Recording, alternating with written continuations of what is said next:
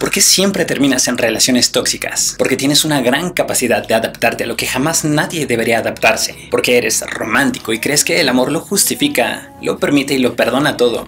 Y no es así. Porque crees que lo que es normal está bien. Y no siempre es así, porque a pesar de que sabes que las cosas con esa persona se están yendo al carajo gradualmente, decidiste que podías tolerarlo y continuar, porque tú eres tóxico. Por eso, porque hay cosas que nunca, por nada ni nadie deben aceptarse. Revisar el celular de tu pareja porque desconfías de ella no está bien. Estar con una persona en la que no confías Tampoco. Pelear algunas veces y estar angustiado, triste y preocupado otras tantas no lo está. Engañarle porque ella te engañó, hacerle daño porque ella te lo hizo antes, no está bien. Los celos, el chantaje, la doble comunicación y por supuesto la violencia física o psicológica no están bien. Todo esto, si quieres, podría ser lo más normal para otros y eso no significa que esté bien. Si algunas de estas u otras cosas parecidas pasan, tienes una relación tóxica y aunque eso sea relativamente frecuente, no está bien. Y no, aunque sufras dentro de una relación tóxica, no eres víctima. Sea como sea, eres cómplice. Uno, porque generalmente nos relacionamos con personas tan sanas y tan íntegras, o tan tóxicas y tan inestables como nosotros. Si tu pareja es tóxica, tú eres la contraparte. Dos, porque si tus mejores recursos para ser querido y sentirte seguro son los celos, el chantaje, el miedo, la manipulación y el control, Tú eres extremadamente tóxico. Y tres, porque permitir lo que no se debe permitir, aunque tengas creativas justificaciones, te hace parte del problema. Tu pareja explotó agresivamente contigo, pero como le amas y el amor debe superarlo todo, tú tienes que aguantar. Tu relación lleva tanto tiempo destruida que lo único que te causa es miedo, tristeza, dolor y angustia. Pero mejor eso que estar solo, porque estar solo te da más miedo. Aquel chico abusa física y emocionalmente de ti y te obliga a hacer cosas que no quieres. Pero aguantarás más porque eres ingenua y tienes la esperanza de que él cambie. Aquella chica es egoísta, narcisista, interesada, frívola, superficial. Pero como es guapa y sexy y no puedes imaginarla con alguien más, te tienes que aguantar. Aquella persona que antes parecía perfecta, ahora te maltrata. Pero no lo hace tan frecuente, solo cuando está enojada. Entonces vale la pena aguantar y luchar por amor. ¿En serio? ¿Qué te pasa? ¿Cómo pudiste llegar a este punto? ¿Qué carajos tiene que haber en tu cabeza para que aceptes cualquiera de estas? ¿Sabes qué te mereces? Y no porque yo te lo desee, sino porque eso es lo que ganarás. Que te lastimen, te reduzcan, te voten y después te arrepientas de haber sido tan desechable. Que nunca sepas lo que es sentirte íntegro. Que nunca vivas una bella relación con una persona que te ame y te respete de verdad luchar por amor. Patrañas. Se puede luchar junto a una persona, juntos, contra lo que tú quieras, para escalar, para salir adelante. Pero luchar por amor, no. En las relaciones sanas aprendes y creces con esa persona. Luchas junto a ella, avanzas con ella.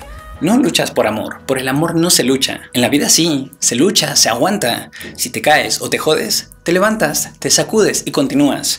Pero si crees que esta idea puedes retorcerla y aplicarla a tus relaciones tóxicas, no es así. He dicho que las personas que no se aman, no se respetan y no se atienden a sí mismas van a buscar quien llene ese vacío a costa de lo que sea. Por esa misma razón, si tuvieran que perder un poco de respeto, dignidad e integridad con tal de mantener a una persona a su lado, sin duda lo harían. Se dejarían arrancar un trozo de integridad. A fin de cuentas es poco, no importa.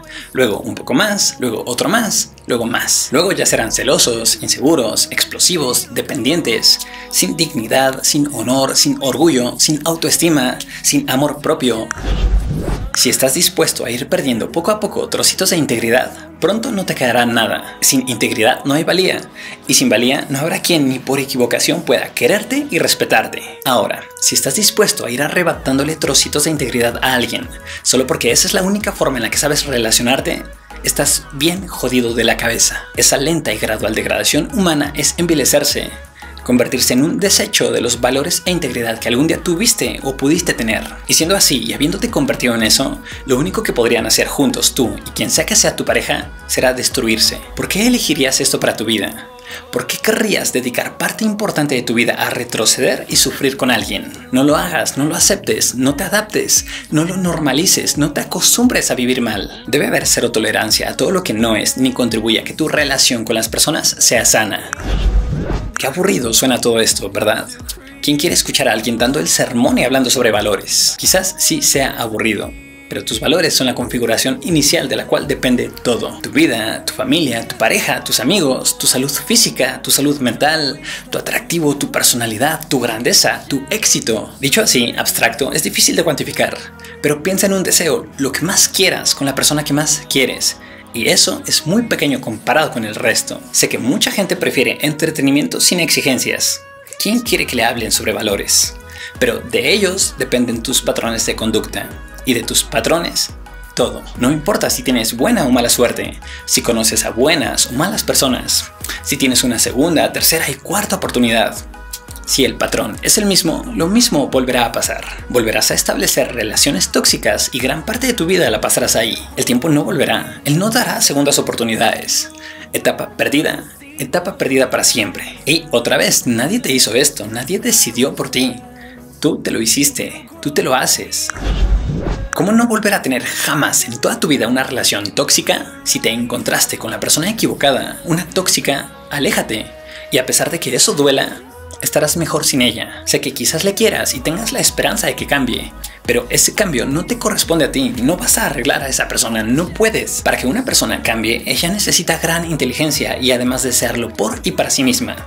Y por más que quieras, esto no depende de ti. Ahora, si tú eres esa persona tóxica, equivocada, cambia tú porque si no, te harás daño y también a las personas que quieres. El top es tu integridad, eso es lo más importante y nada está por encima de ella. La integridad es intocable y la dignidad, el respeto, el amor propio, la libertad, entre tantas otras, son parte de ella. Una persona que de verdad te respeta y valora jamás, por ninguna razón, consentiría que algo amenace tu integridad.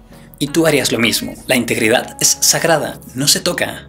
Esta simple regla hará que nunca jamás vuelvas a comenzar consentir o continuar una relación tóxica. Arre.